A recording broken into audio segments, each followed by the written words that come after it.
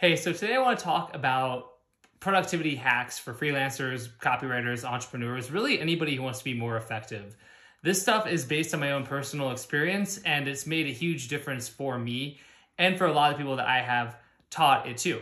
So I'm going to get right into it and just share a few things. And I'm not going to be preachy, but it might come across a little bit like I am. You'll see what I mean in a second.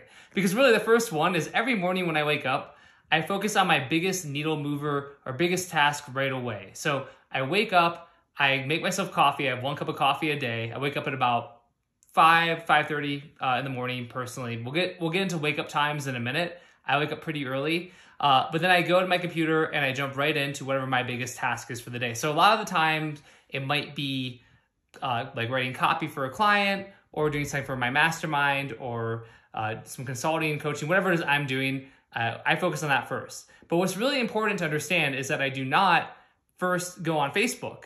I do not first go and check my Gmail and reply to emails that I've gotten. I do not go on Skype. I do not go through Slack. I do not do any of those things. I started doing this maybe six months ago, and uh, it's made a dramatic difference for me in my life. And the reason why is pretty simple. When you do even little things like that, when you're like, because what happens is a lot of times people will tell me, oh, you know, I got to get tuned up. I got to get warmed up. I, you know, I don't want to go to working right away. And I used to always be the same way.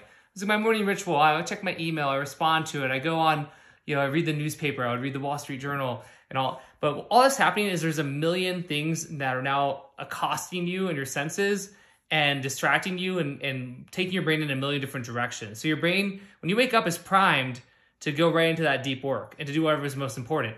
But you start checking emails and oh there's one email from a client who's pissed off or from a friend who has a problem or a reminder of something that you didn't do previously and suddenly your mind goes to that. You're instantly distracted or you're anxious or you're worried or even excited. Maybe it's a good opportunity and suddenly you want to reply to that. So you do and then you reply to a couple more emails. And suddenly it's a half an hour 45 minutes after you woke up and you still haven't actually gone on your biggest needle mover. And then god forbid you go on facebook and you start seeing all the notifications and you click on that and you reply to somebody who's tagged you and then you see some pictures and you start scrolling and you get an argument about politics or God or whatever it is you argue about on Facebook.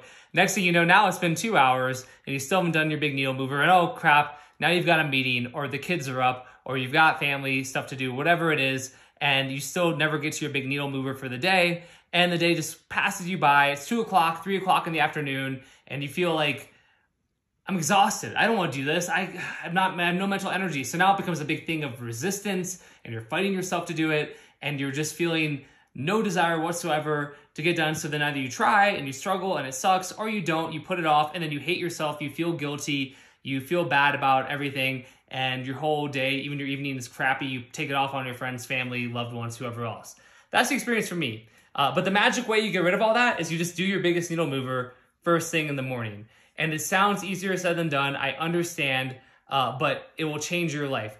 Do the first hour and a half, two hours. Put that aside. I personally do Pomodoros. That could be number two on our list here. Uh, with Pomodoros, basically, you do 25 minutes of intense focused work and take a five minute break. 25 minutes, five minute break. So you do sets of Pomodoros. I'll do you know four of them, three or four of them. But you'll be amazed if you have all distractions minimized and you actually focus on deep work you'll be amazed and shocked at how much you can get done in 25 minutes. I mean, it's crazy what you can get done. The problem is we start working for 25 minutes and then we you know, check our email, reply to an email, get a message, get a notification on our phone, do all this crap. And again, the 25 minutes goes by and it feels like it flew by, and nothing got done. It's because we weren't actually working, having deep focus work. So I love Pomodoros. On top of that, speaking of my phone, I always put my phone face down when I'm doing deep work, and really most of the day when I'm working in general. I also always keep my phone on Do Not Disturb. I cannot tell you the last time I had a ringer on my phone. It has been years. Uh, I, I don't understand why you would do it. Don't do it. Phone being quiet, you control your phone. Your phone doesn't control you. Look at your phone when you want to on your schedule, when you have time to do that. And the same thing goes for desktop notifications. Like if you use Slack, people, uh, Slack constantly tries to prompt you early on, especially when you go into a new channel to do desktop notification notifications. And I'll be talking to somebody and hear tick, tick, tick, tick, like that little clicking sound that Slack makes, and I just kind of quietly judge people for having that going on, and also gives me anxiety. God, you're trying to do deep work and it Like, how the fuck is that not going to distract you? So I think Slack's evil for even doing it. I think all the any any website, any app that says they want to give you desktop notifications or push notifications can go fuck itself. Not doing it. I control my time. I control my attention. These apps do not control my time or my attention. I think that's really important uh, to understand. So what do we have? Okay, we have focus deep work. We have Pomodoros. We have minimizing distractions on your phone, desktop notifications. Speaking of Facebook, I would really encourage you not to go on Facebook until several hours into your day. A lot of days I'll wake up at 5.30, 5 a.m., 6 a.m. on the later side, and I won't log into Facebook for the first time until 10.30, 11, noon.